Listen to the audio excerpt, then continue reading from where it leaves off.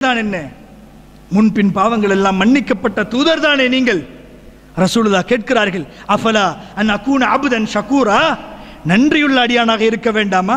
அன்புள்ளவர்களே அல்லாவின் அடியார்களே நாளாந்தம் நான் இரவு தொழுகை தொழ வேண்டும் பித்ரு தொழுகை தொழ வேண்டும் ஐவேளை தொழுகையின் பின்னரும் முன்னரும் நான் சுண்ணத்தான தொழுகைகள் தொழ வேண்டும் என்கிற எண்ணத்தை எடுக்கக்கூடிய உண்மையான விசுவாசிகளாக நாம் இருப்போம் என்றால் அடிப்படையாக ஒன்றை விளங்கிக் கொள்ளுங்கள் உபதேசமாய் சொல்லுகிறேன். நபிகளாரிடம் ஓர் காட்டரபி வருகிறார்.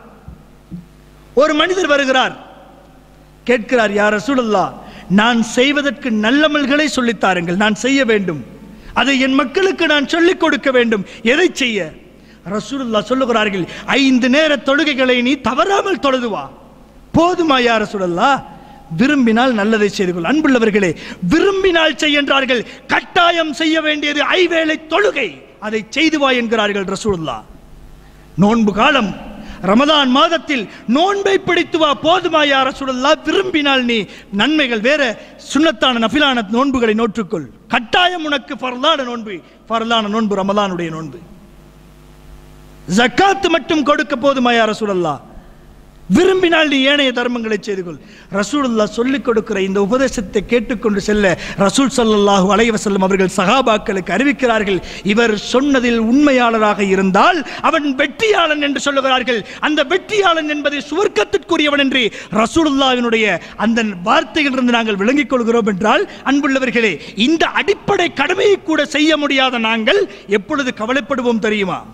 சில முதியவர்களுடைய வார்த்தைகளை நாங்கள் கேட்டிருக்கலாம். அந்த நேரம் எங்களுக்கு உடம்புல நல்ல தெம்பு இருந்துச்சு தான் தவற விட்டுட்டோம். இப்பதான் பள்ளியோட எங்களுடைய காலத்தை கழிக்க வேண்டிய ஒரு நிலைமையில இருக்கிறோம். பள்ளியை விட்டு வெளியேற மனம் இல்லாமல் பள்ளிக்குள்ளே தஞ்சமடையக்கூடிய வயோதிபர்களை பார்க்கிறோம். அவர்களிடம் சென்று கேளுங்கள் உங்கள் இளமை எப்படி இருந்ததென்று. அல்லாவை மறந்தவர்களாய் வாழ்ந்திருக்கிறார்கள். அல்லாவை நினைக்காமல் வாழ்ந்து விட்டார்கள். இப்பொழுது உடம்பில் சக்தி இல்லை.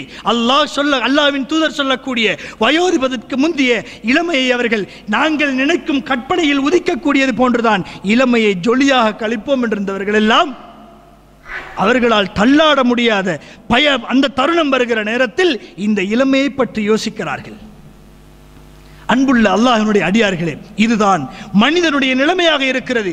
ஒரு நேரம் கடந்து செல்லுகிற பொழுது அவன் அவனுடைய பழைய நேரத்தை யோசிக்கிறான். அந்த நேரத்தில் நான் நன்றாக இருந்திருக்க வேண்டுமே. அன்புள்ளவர்களே அல்லாவின் அடியார்களே ஒரு மனிதனுடைய வாழ்க்கையில் ஏற்படக்கூடிய ஒவ்வொரு கட்டங்களிலும் இதைத்தான் மனிதன் கவலைப்படக்கூடிய ஒரு தருணமாக கடைசி நேரத்தை அவன் எடுப்பதற்கு காரணம் அவனுக்கு இருக்கக்கூடிய இந்த சந்தர்ப்பம் நல்ல சந்தர்ப்பம் என்பதை அந்த நேரத்தில் சிந்திக்க தவறியதனால் அந்த மனிதன் மறுமையிலே மறுமைக்குரிய அந்த பயணத்திற்காக தயாராகிற நேரத்தில் அவன் கவலைப்படக்கூடியவனாக மாறிவிடுகிறான்.